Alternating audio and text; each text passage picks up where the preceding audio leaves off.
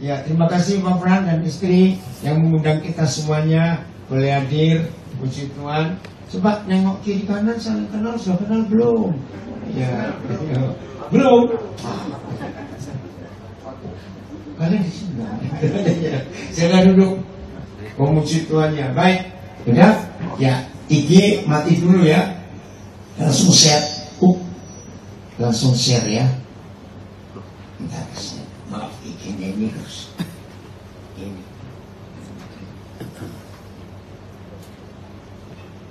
Iya.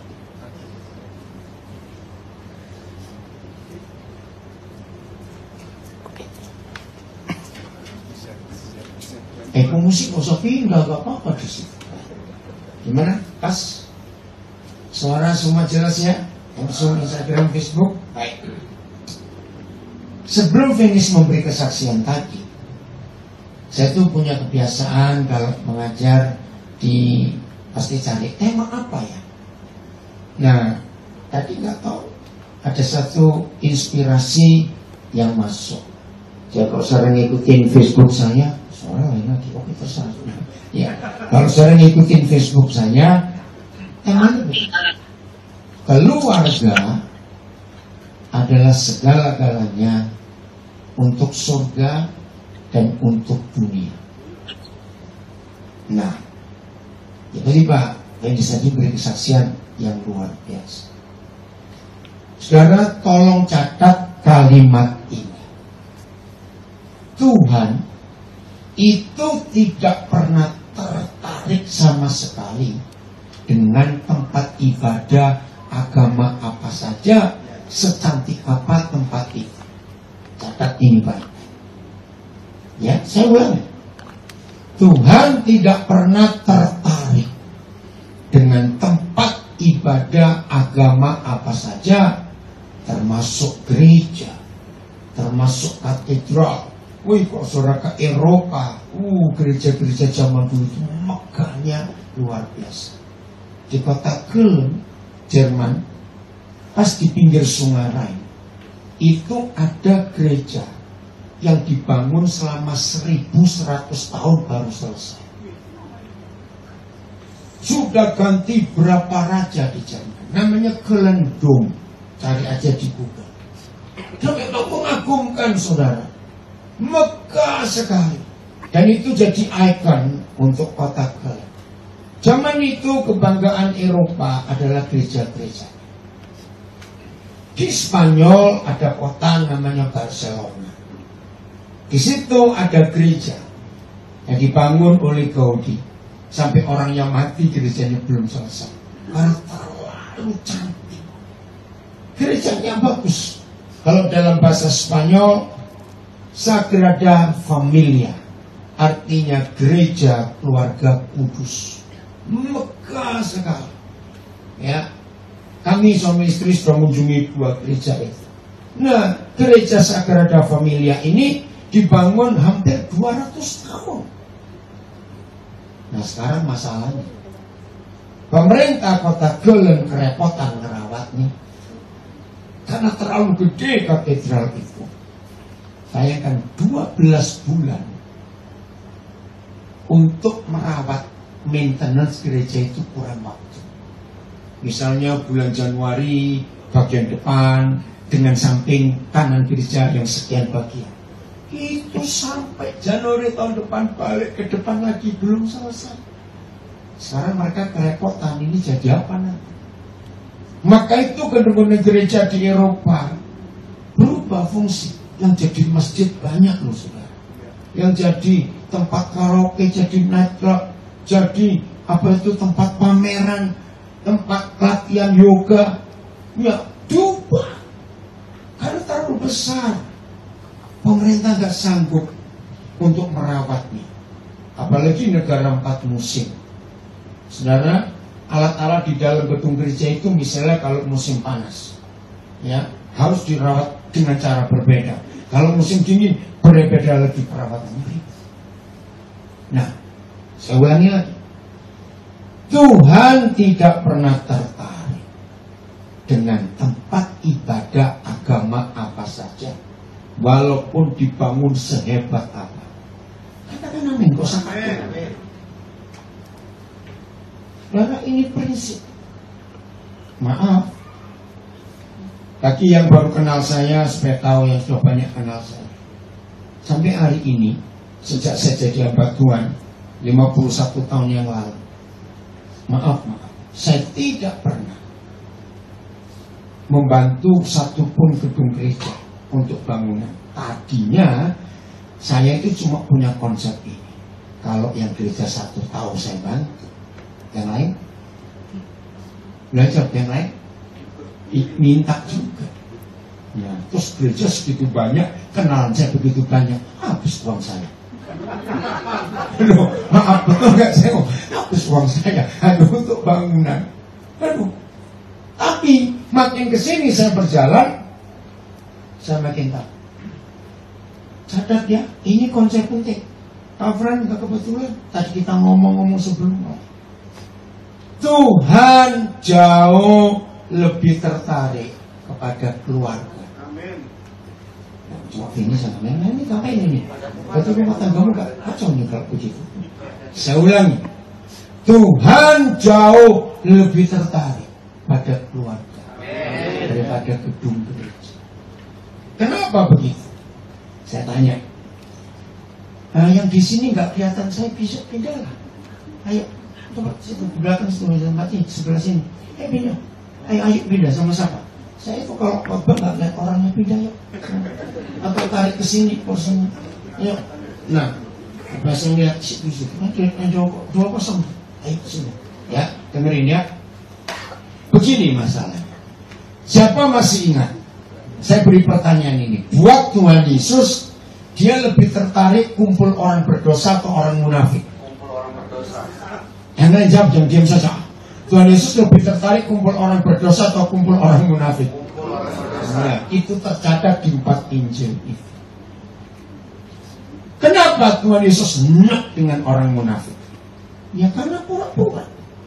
Begini loh nggak sukanya Tuhan kepada orang munafik. Orang munafik itu banyak bohongnya bukan? Yang saya tanya, betul tidak? Banyak bohongnya, banyak pura-puranya, begitu ya. Nah Tuhan kan maha tahu. Kok dibohongin itu loh. Ngerti maksud ini? Nah, sekarang ini konsep penting. Supaya kita tahu. Maka itu Tuhan gak suka orang munafik, dia lebih bisa kumpul orang berdosa. Nah, saya tanya kepada saudara, jangan marah. Yang namanya manusia ini bisa berlaku munafik di tempat ibadah atau di rumah. Ya, cepat jawab ya. Sambil mikir yang belum pernah tahu pertanyaan ini. Hari ini dapat pertanyaan pertama mikir. Kita ini namanya manusia bisa berlaku munafik di rumah atau di tempat ibadah. Tempat ibadah. Maka itu Mengapa semua orang yang beragama identik dengan kemunafikan? Betul salah kalimat? Jadi kita bisa berlaku munafik di rumah atau di gereja? Munafik. itu fakta. Ternyata menyembunyikan dosa di dalam ritual keagamaan itu paling aman. Amin. Saya ulangi. Menyembunyikan dosa di dalam ritual keagamaan itu paling aman. Maka itu saudara, di rumah Tuhan jauh lebih suka untuk hadir daripada di tempat ibadah.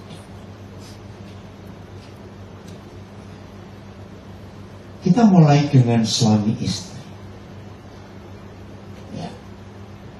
Maka itu secara fakta Tuhan kita selalu berurusan apa-apa dengan keluarga. Bukan dengan gereja. Tapi keluarga. Kenapa? Itu tadi Tuhan tidak terlalu suka hadir di gereja karena kemunafikan kita ini. Nah, maka itu ayo suami istri kita mulai dengan konsep. Kita buka kejadian 2 ayat 25. Inilah ayat pertama dalam seluruh Alkitab. Saya ulangi, inilah ayat pertama dalam seluruh Alkitab yang Tuhan menyatakan diri suka hadir. Di layar ada enggak? Di layar ada Alkitab enggak? Ada, coba buka. Kayaknya kejadian 2 ayat 25. Wih, ini ayat keren sekali.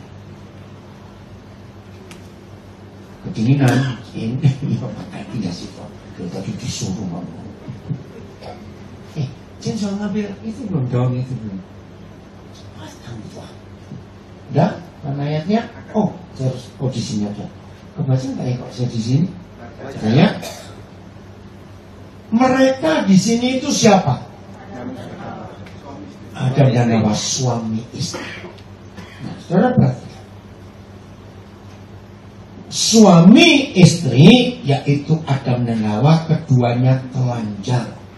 Manusia dan istrinya itu tetapi mereka tidak merasa malu. Saya pertama belajar ayat ini saya itu tertawa kepada Papa di surga. Kenapa saya tertawa? Saudara renungkan. Perlu nggak sih Tuhan memfirmankan bahwa Adam dan Hawa itu telanjang? Sebetulnya perlu atau tidak? Tidak. Karena semua orang tahu di zaman itu belum ada pabrik tekstil. Pasti mereka telanjang. Nah, yang kedua, saya mikir, maaf, ya suami istri telanjang, mikir tentang seks. Ternyata dua-dua salah. Saudara firman ini dahsyat sekali. Sejak awal pernikahan, dan ini pernikahan awal di dunia bukan? Loh, yang lain jawab saya tanya. Dan sejak awal pernikahan di dunia, karena sebelum mereka belum ada pernikahan. Ternyata Bapak sudah menggunakan konsep yang namanya suami istri tidak boleh ada kemunafikan. Kata lain munafik itu menutupi. Kita lihat, kalau kita pakai baju, selesai. Ada yang kita tutupi, yang orang lain tidak boleh tahu. Betul itu. Tapi kalau suami istri berlaku munafik di hadapan satu dengan yang lain itu lucu nggak? Lucu jawab. Nah, maaf. Jangan saudara berpikiran cabul kalau saya katakan kalimat ini.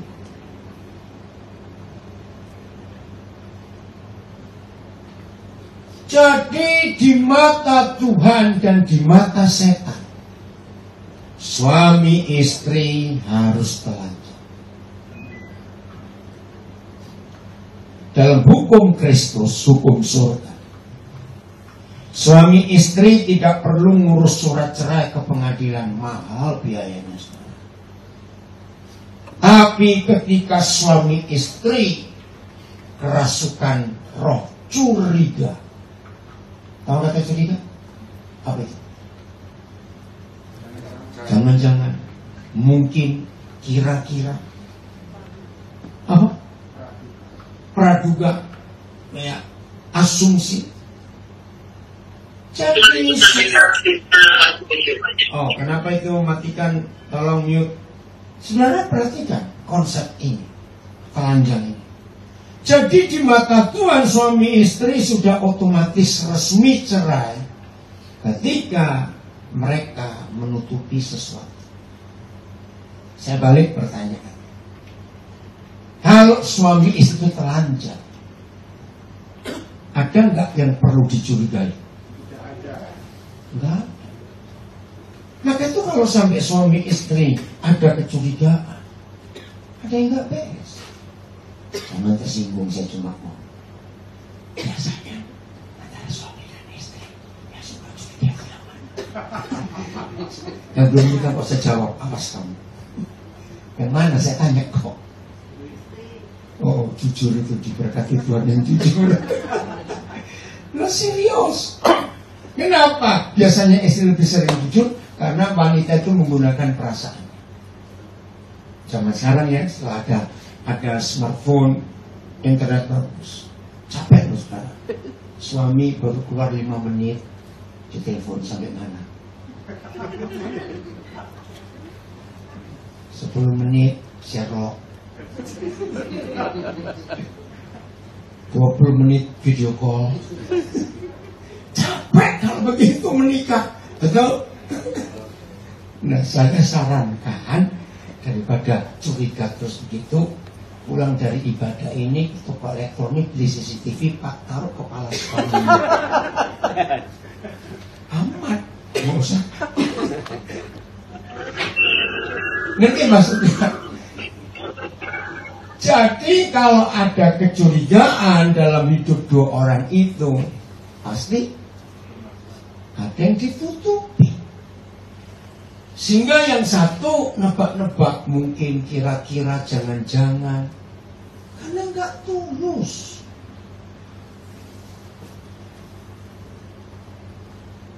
Hanya Tuhan Yesus satu-satunya pribadi. Satu-satunya.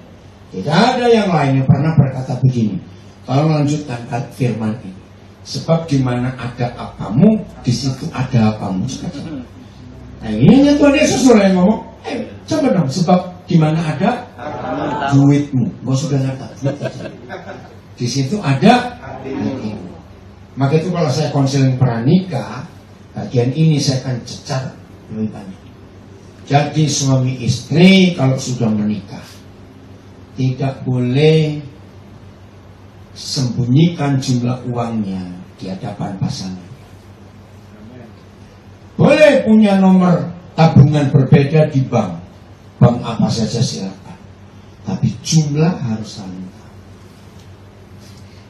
Maaf, Roh Kudus beri saya ilustrasi begini sebuah perusahaan contoh aja Pak Frans ya kenapa milih nama Jaitu saya mau tanya dari dulu Jaitu terus dua satu. Nanti kita jawabnya Jaitu Pak Frans misalnya siapa yang akan diajak masuk kamar kantor pribadinya Pak Frans dan ditunjukkan cash flow tau ya? Keluar masuknya uang perusahaan. Itu partnernya atau karyawannya? Jawab dong.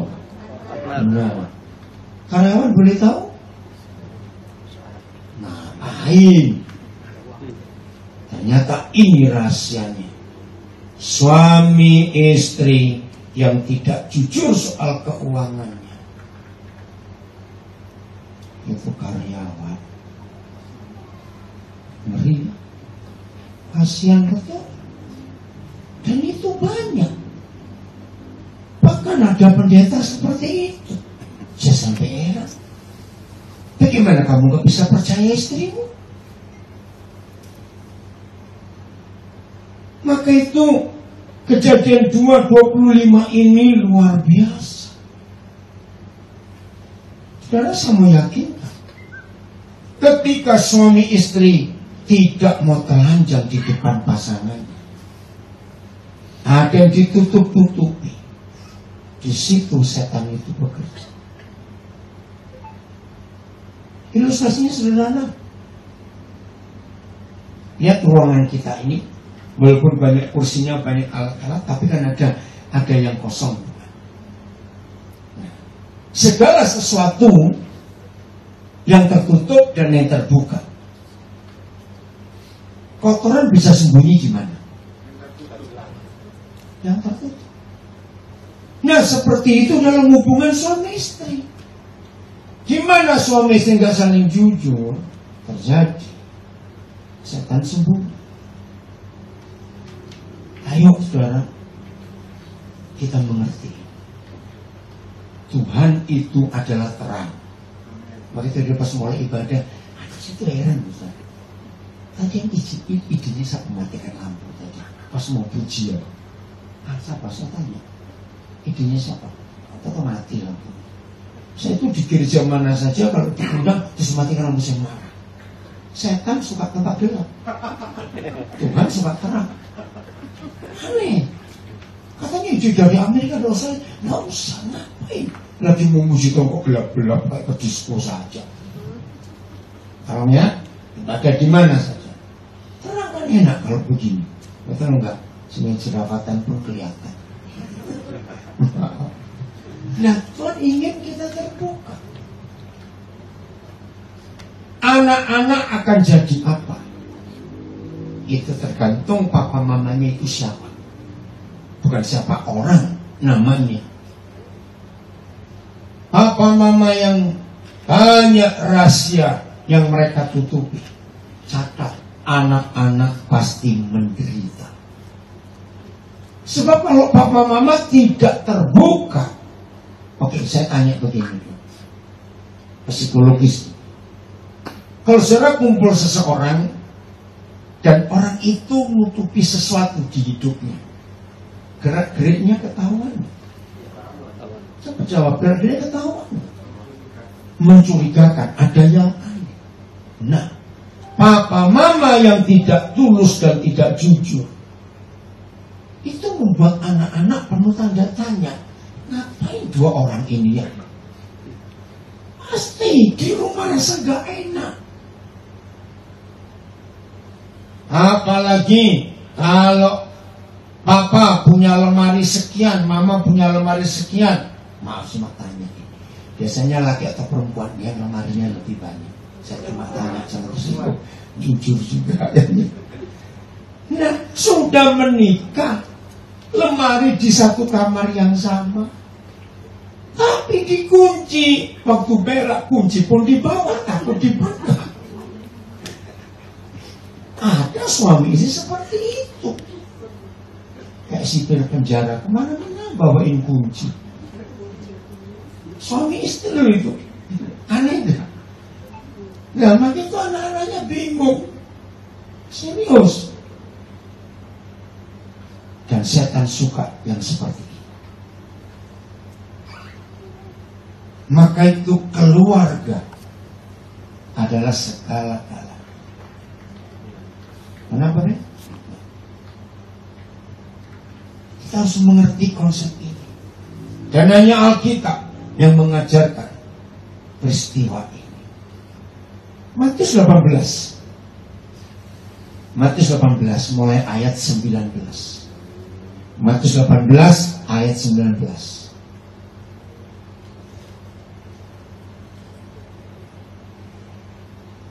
Matius 18 ayat 19. Kebetulan angka pasalnya enak diurut 18, 19, 20 Kita sampai 20 Dan lagi aku berkata kepadamu Tuhan Yesus yang bicara Jika dua orang daripadamu di dunia ini sepakat Meminta apa pun juga Jadi diberi kesempatan minta berapa kali Ya artinya berapa Bukan banyak, salah Semua terbatas. Apa janji Papa? Hai baca. Permintaan mereka itu akan dikabulkan oleh Bapak yang di surga. Saudara yang belum tahu supaya tahu hari ini. Di antara ribuan ayat dari kejadian sampai wahyu. Ternyata inilah satu-satunya ayat yang paling dahsyat. Janji Papa yang hebat minta apa pun juga pasti dikabulkan. Nah, saya pikir waktu itu saya belum menikah. Eh, ternyata tidak boleh asal dua orang, tidak. Dua orang yang membuat kesepakatan. Oke. Okay. Saya minta saudara menjelas, memberikan saya kata yang lain. Sepakat. Apa kata lain? Atau bentuknya apa? Sepakat. Eh perjanjian komitmen. Ayo apa lagi? Apa? Persetujuan. Ayo satu lagi. Sepakat.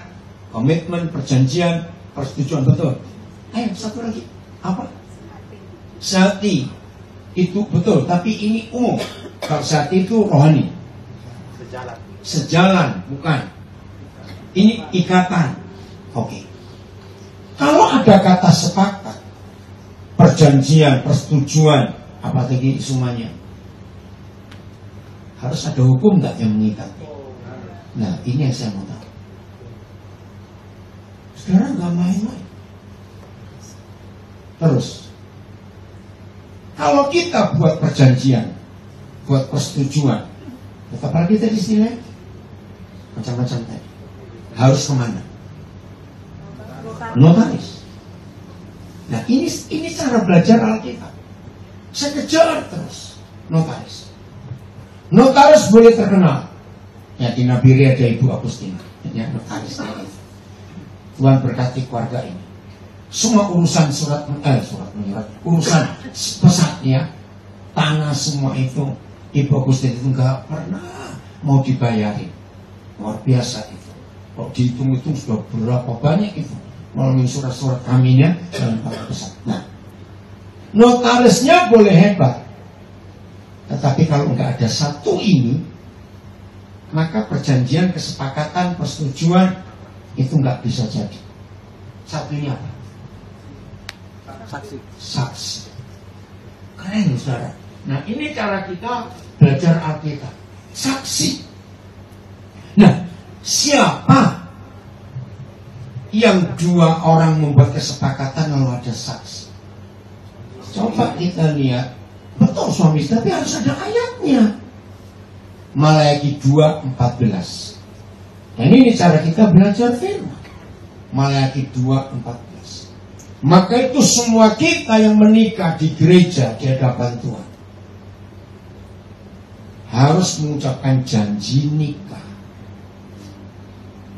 Dan lagi aku, oh, masih ayat ini. Ma Malayaki ya.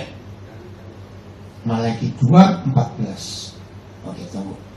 Atau saudara baca Pak Alkitab sudah ya. Satu dua tiga dan kamu bertanya oleh karena apa? Oleh sebab Tuhan telah menjadi saksi antara engkau dan istri. Engkau telah tidak setia pada dan dialah teman dan istri seperjanjian. Saudara luar biasa. Saya mau cerita ya pengalaman saya pertama kali menemukan konsep ini. Saya tuh sampai gemetar.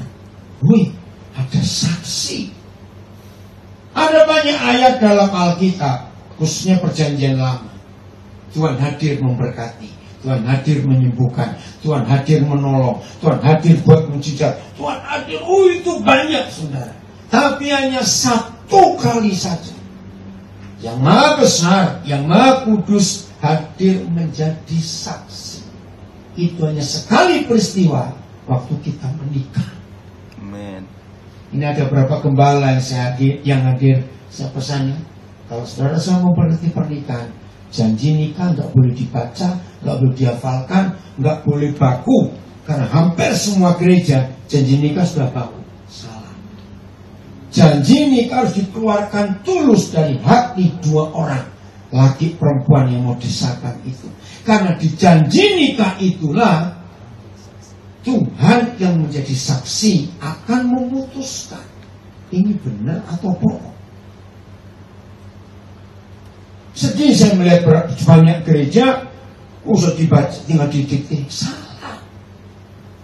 Karena pengalaman saya, saya punya teman baik, anaknya menikah karena gerejanya dari anaknya ya udah diberkati lain. Hampir tiga bulan selesai pernikahan itu, teman saya itu bilang, oke tolong, anak saya itu mau cerai. Saya mikir, loh, kan saya tahu, kan baru menikah tiga bulan lalu anak pertama. Terus saya tanya, anak yang mana lagi? Saya gitu, hah? Bayangkan baru tiga, belum tiga bulan menikah. Ketika saya datang ke rumahnya, Aduh kalau saya ingat kalimat ini hati saya itu hancur. Papanya ngomong gini. Untuk ngawinkan kamu tanpa papa belum lunas. Kamu mau cerai. Sakit loh saudara. Betul enggak? Aduh hati saya. Saudara tidak ada penyelesaian. Sampai tiga hari. Hari keempat saya bilang Tuhan saya nggak sanggup. Karena mereka dua ngerti firman. Jadi saya jawab pakai ayat ini, jawab pakai ayat itu. Tuhan terakhir, saya nggak bisa lanjut. Ingatkan mereka janji nikah. Oh iya iya iya saya. Hari keempat saya bilang ini terakhir, saya nggak bisa. Saya minta maaf kepada bapaknya. Bukan kau nggak mau nolong, tapi nggak bisa. Kali ini kan nggak janji nikah. Oh ingat. Ya udah, kenapa kalian nanya? Shock saya. Yang mengucapkan, yang bicara bukan saya, saya didikte suruh baca. Betul atau salah dua orang ini?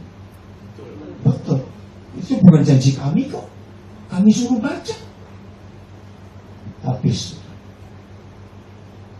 Maka itu hanya satu kali dia hadir menjadi saksi yang maha kudus yang maha kuasa supaya ikatan janji kita sah. karena ada saksi lalu saya mempelajari sejarah gereja di Eropa. Kaget saya. Gereja Inggris adalah gereja pertama yang memperlakukan buku pernikahan, buku tamu itu. Tapi kan dulu nggak ada istilah pesta, semuanya di gereja. Nah, begitu saya menemukan fakta bahwa buku tamu pernikahan itu buku suci kedua setelah kitab suci. Dan itu wajib disimpan oleh pengantin seumur hidup pernikahan mereka. Dalam hukum gereja di Inggris waktu itu, tamu pernikahan hanya ngisi nama alamat terserah, tapi tidak boleh tanda tangan. Kapan para tamu itu tanda tangan? Setelah ibadah selesai dan para undangan mendengar janji nikah mereka untuk setia, tidak cerai, tidak ini, baru waktu mereka keluar, mereka tanda tangan. Dan buku nikah itu disimpan oleh pengantin. Dengan hukum Suatu hari kalau ada yang pernah diundang dan sudah tanda tangan, ternyata mendengar keluarga ini ribut mau cerai, maka diundang berhak datang ke rumah mereka. Dengan meminta keluarkan buku tamu waktu kamu menikah. Dan kita berhak menunjukkan tanda tangan kita. Hah, sampai segitunya hukum gereja Dan betul, satu kali di Belanda, saya hadir di ulang tahun pernikahan yang ke-25 dari teman kami. Begitu masuk, ditanya, Bapak hadir waktu mereka menikah? Oh enggak, saya belum kenal. Waktu itu isi buku tamu yang ini. Terus saya tanya, yang buku tamu itu? Ini buku tamu waktu mereka nikah. Dan kalau Bapak hadir, cari kolom di mana Bapak ada tanda tangan yang kedua. Tapi sayang sampai Indonesia itu jadi buku nomor satu.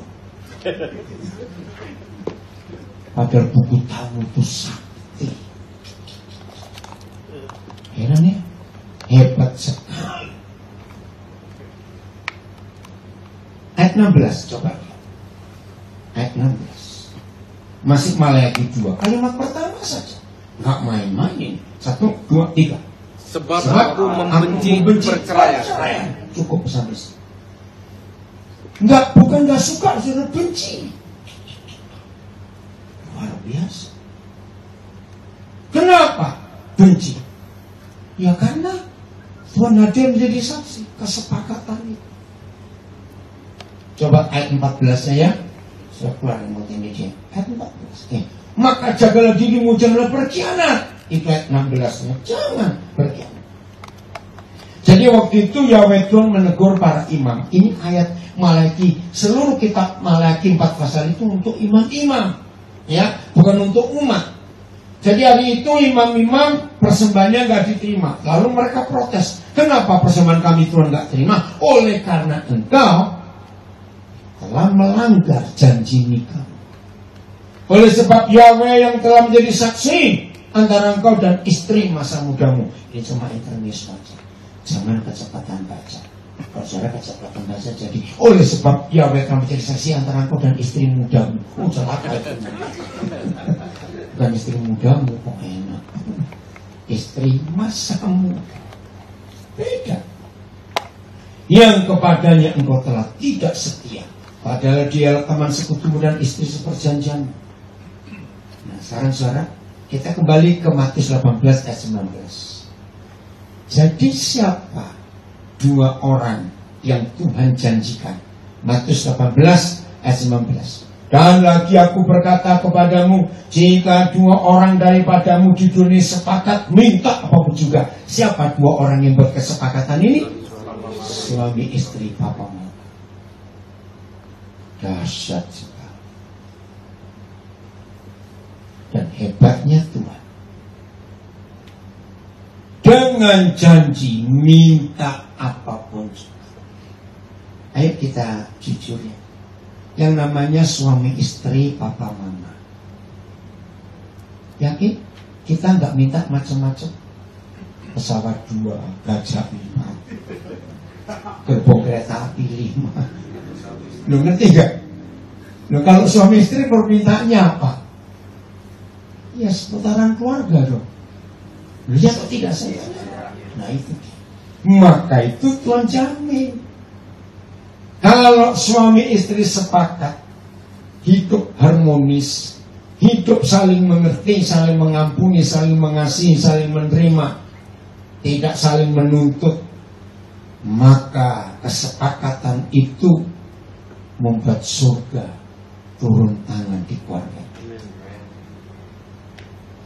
Saya beri dua pertanyaan lewat ayat. Jadi menurut ayat ini, kalau suami istri selalu sepakat, terus sepakat. Ada nggak masalah dalam keluarga yang nggak pernah selesai? ada. Semua pasti selesai.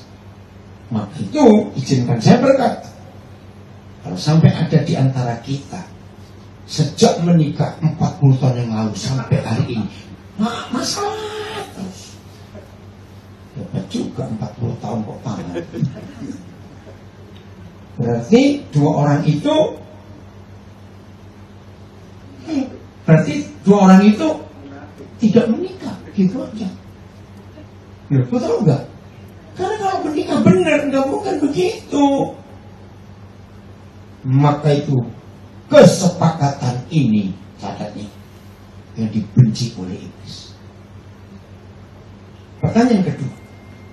Menurut ayat ini, Matius 18 ayat 19. Siapa yang diberi kuasa untuk mengalahkan setan? Baca dong, saya tanya. Menurut ayat ini siapa yang diberi kuasa untuk mengalahkan setan? Nih, nggak cuma suami istri. Yang sepakat, jangan lupa. Karena suami istri ada yang tidak sepakat. Contoh soal keuangan. Ngerti ya? Nah, dengarkan kalimat. Akhirnya setan tahu yang bisa mengalahkan mereka adalah suami istri yang sepakat. Nah, sebelum mereka dikalahkan, maka mereka berusaha mengalahkan yang akan mengalahkan dengan cara sederhana.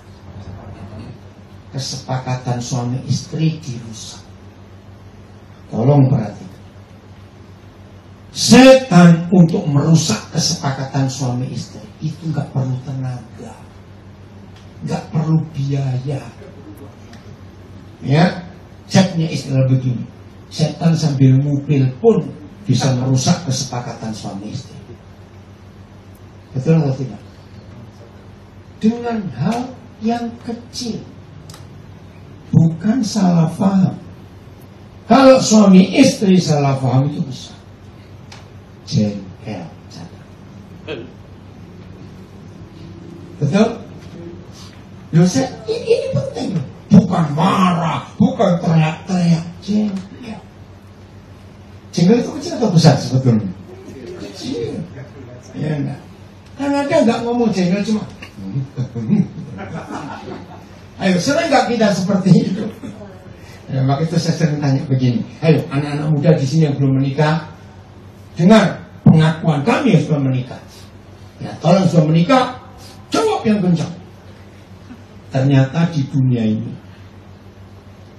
Kalau ada dua orang sering saling menjengkelkan, itu pasti suami istri. Betul atau salah? Cepat-cepat. Ya itu. Jadi mau, mau menikah mikir. Ternyata buat setan merusak kesepakatan kita suami istri gampang sekali. Bukan dengan perkara-perkara besar. Perkara kecil urusan peniti. Karena ribut suami istri. Urusan sisir. Terus saya tanya ke suami dulu, ayo ngaku. Iya, urusan cuci tangan. Aduh, urusan sabun. Lu ya atau tidak? Nah, makanya itu jangan kita jadi langganan setan. Ada mau ini nggak mau Jangan kita jadi membernya setan. Tahu kata member tuh? Kinabiri ini apa yang saya pakai member ya? Zaitun pakai member nggak? Apa? Ngejim, ngejim. Ngejim pakai member apa itu? Futsal. Oh ya ada. Apalagi yang pakai maaf maaf maaf jangan tersinggung ya sor. Ya nabire. Ya kota besar, baik member so banyak soal ini, dikit-dikit member, dikit-dikit member. Sudah tahu? Jadi member, kenapa? Saul. Saul. Oh iya, ada member sudah sudah. Yang ngomong bukan papa ya. Oke, tapi jadi member istilahnya apa? Kalau jadi member istilahnya apa? Pelanggan, betul. Dapat hak istimewa. Wih keren. Kalau ada produk baru ditawarkan. Nah, yang jadi membernya setan ya begitu. Dapat hak istimewa. Ada produk baru ditawarkan. Es, apa? Ayo, banyak nggak yang jadi membernya setan? Nah, tanpa sadar Pak. Padahal jadi member, eh, ingin jadi, ingin bakal jadi member itu gampang. Cuma unsubscribe. ya langsung putus. Ayo, yang masih jadi langganan setan bertobat dari itu. Enggak capek tiap hari bertengkar terus itu. Kenapa? Kenapa? Mau cari toilet saja. Mau berubah hari ini? Jangan mau jadi member setan. Ada nggak suami istri rajin bertengkar? Saya tanya ada nggak? Saya tanya ada nggak? Ya? Nah, jadi cara setan merusak kesepakatan itu mudah atau susah? Mudah sekali. Nggak perlu tenaga, nggak perlu apa-apa. Ayo hari ini kita berubah. Ayat 20. Ini keluarga yang diharapkan Tuhan kita. Ayat 20. Masih Matius 18. Ayat 20. Sebab, nah ini terjemahnya harus betul ya. Ayat ini sering dipakai oleh hampir semua gereja kalau pas mau ibadah. Padahal salah. Ayat 20 Matius 18 tidak berlaku untuk ibadah. Ini keluarga. Begini cara baca. Sebab di mana ada dua orang dan orang-orang ketiga. Itu cara baca. Nah, dua orang pertama itu siapa di ayat 20? Dua orang di ayat 19 adalah suami istri. Kalau ada suami istri kumpul, lalu muncul orang-orang ketiga, siapa mereka? Jelas anak-anak. Jadi ini keluarga, saudara. Jadi saya baca. Di mana ada suami istri yang sepakat mengajak berkumpul anak-anaknya kumpul dalam baca nama Yesus Kristus Tuhan. Di situ ada siapa? Ada Tuhan Yesus Kristus. Saya tanya, kalau keluarga yang seperti ini keluarga harmonis, di tengah-tengah keluarga itu selalu ada Tuhan Yesus Kristus. Ini pertanyaan konyol. Ada enggak setan goblok dan setan nekat berani masuk? Jawab coba. Ya ada. Ada. Nah, kalau yang setan goblok aja mikir, maka setan pintar lebih nggak berani masuk karena yang pintar lebih mikir daripada yang goblok. Ngerti maksud saya? Nah, saya balik pertanyaan. Jadi kalau ada keluarga kesetanan, itu berarti ada Tuhan Yesus nggak di ada. Yang ada, ya setan itu tadi. Kapan mereka masuk? Ketika nggak ada kesepakatan. Wih, ini firman luar biasa. Saya beri pertanyaan lebih konyol lagi ya, jawab semuanya. Yang di sini bukan yang di Menurut ayat ini, keluarga pendeta, keluarga orang Kristen lebih mudah musir Yesus atau musir setan? Ini pertanyaan Eh, Jawab dong. Lebih mudah musir Yesus atau musir setan? Orang aja nggak ini. Ternyata Tuhan Yesus lebih gampang kita usir. Ketika jengkel. Kedua, jawabannya sama. Berarti buat keluarga kita lebih mudah undang Yesus atau undang setan. Oh Tuhan. Ini fakta, saudara. Ini fakta. Siapa pun yang ada di tengah-tengah keluarga kita, catat. Dampak pertama itu ke anak-anak. Betul atau salah? Ini loh masalah ke anak-anak. Awas yang berkata, puji Tuhan gak punya anak. Apa kamu ngomong begitu? Kami bisa berkata seperti itu karena kami gak punya anak-anak. Tapi seperti saya tahu, beri kami anak-anak yang luar biasa. Maka itu saudara, Tuhan lebih suka hadir di keluarga kita daripada di tempat ibadah. Karena di dalam keluarga tidak ada kemunafikan. Ya nggak lucu kalau di rumah munafik, mau munafik sama siapa? Artinya, ayo kita jaga kesepakatan ini. Karena di situlah Tuhan itu hadir. Sekarang bayangkan. Semua keluarga selalu sepakat suami istri dan selalu ada Tuhan Yesus Kristus Raja segala raja dan Tuhan di antara segala Tuhan ada di tengah-tengah keluarga kita. Bayangkan dampaknya. Amin. Ini yang setan tidak suka. Efesus 4. Ini yang terakhir. Efesus 4. Mulai ayat 27. Ya, saya baca kembali. Dan baca Janganlah beri kesempatan kesempatan iblis. pada iblis. Apakah kalian memberi kesempatan? Mengizinkan, apalagi cepat ayo jangan jawab. Jalan. Memberi jalan, apa?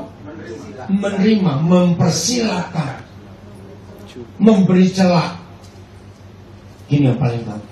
Ngundang setan nginep di rumahmu. Bodoh betul. Betul? Ternyata tanpa disadari tidak sedikit keluarga mengundang setan untuk nginep di rumah. Kita lihat ayat 25. Lihat ayat 25. Ya. 25. Karena itu Buanglah dusta dan berkatalah benar seorang kepada yang lain karena kita adalah sesama manusia. Nah, ini ayat tentang suami istri juga. Kembali kepada ketelanjangan tadi. Dusta itu bentuk penutupan, menutupi sesuatu. Kalau saya pakai bahasa Indonesia enak dimengerti. Suami istri yang berdusta itu pasti ada dosa yang ditutupi. Betul atau salah? Betul. Jadi kalau kita nggak ada salah, nggak ada dosa, nggak mungkin kita perlu berdusta. Semuanya kelihatan kok. Maka itu suami istri yang HP-nya pakai PIN dan suaminya nggak tahu, istri nggak tahu bertobat kali. Suami istri dilarang keras. Kalau lagi berdua, salah satu handphonenya bunyi, terus yang punya handphone bilang, aku minggir dulu ya, awas kamu. Setuju? Pasangan kita harus tahu kita ditelepon siapa dan bicara apa. Gak boleh sembunyi.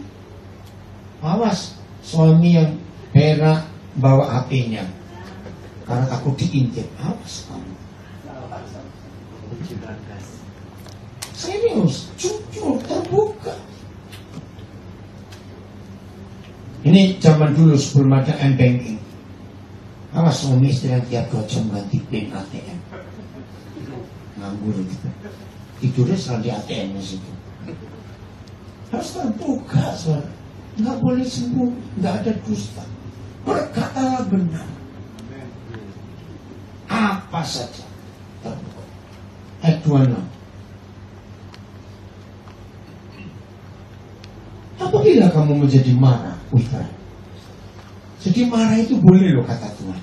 Baca terjemahan yang lain. Apabila kamu menjadi marah, janganlah kita berbuat dosa. Aneh, marah bagaimana? Ternyata ada marah tanpa dosa. Kalau kita selesai marah, ada sebelum matahari terbenam. Masih saya, aku sudah bilang. Jadi pagi-pagi sampai sore silakan marah suami istri. Tapi begitu mulai matahari terbenam, sorry ya, hari ini aku salah. Aku eh, baku puluh. Begitu, bukan?